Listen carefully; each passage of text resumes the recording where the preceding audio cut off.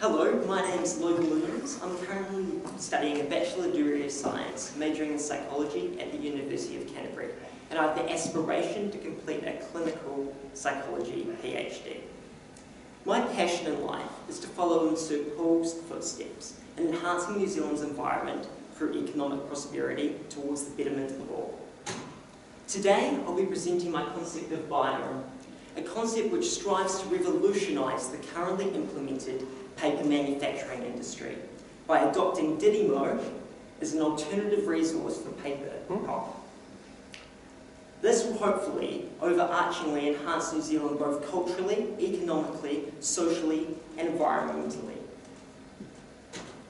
One of the largest issues faced globally is mass deforestation, with an estimated 17 billion cubic feet of timber harvested each year.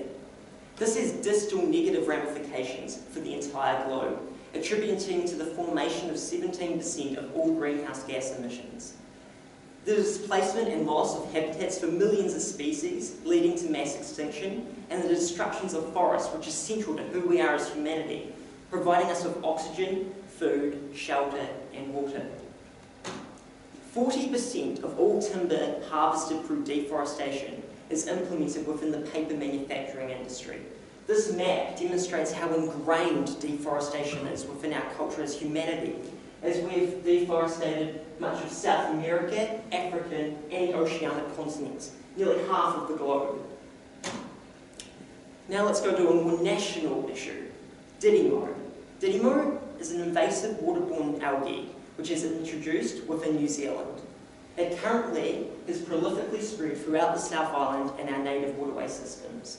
This algae creates a thick coat over the riverway systems.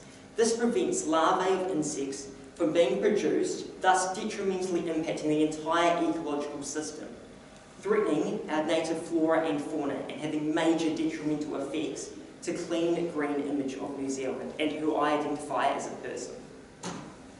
So, what do these two issues have in common? Up until now, not very much. But I would argue that one of the key characteristics that make Didymo such an excellent invasive species can also lend its hand as a resource for paper manufacturing.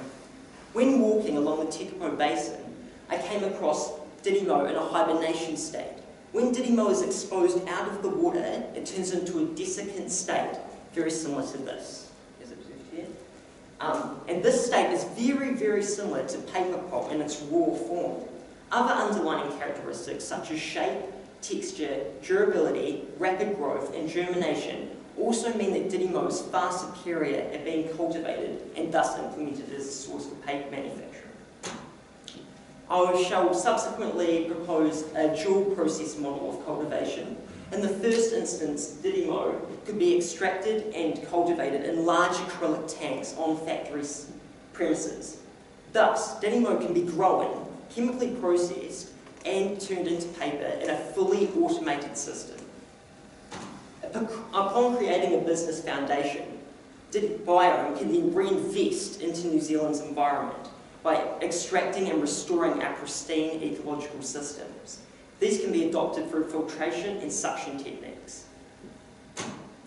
Um, so biome has many tangible benefits to New Zealand. Most prominently is economic benefits, as the paper manufacturing industry is estimated to be worth $402 billion.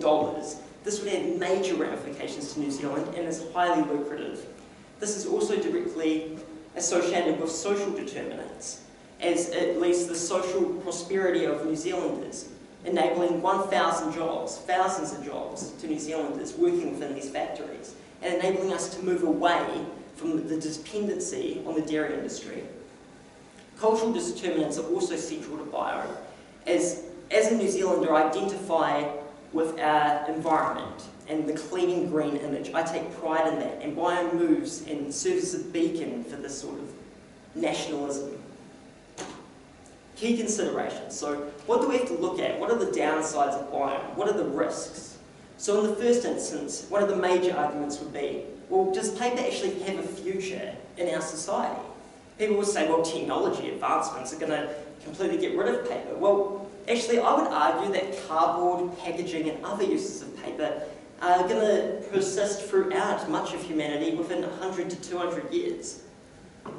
Other considerations are also toxicity levels.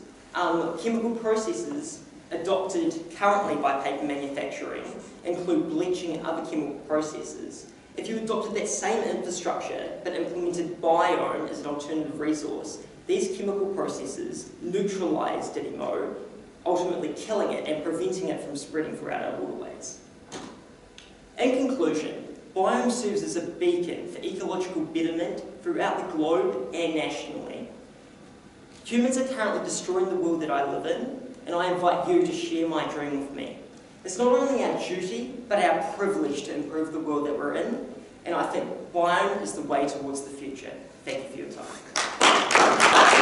time.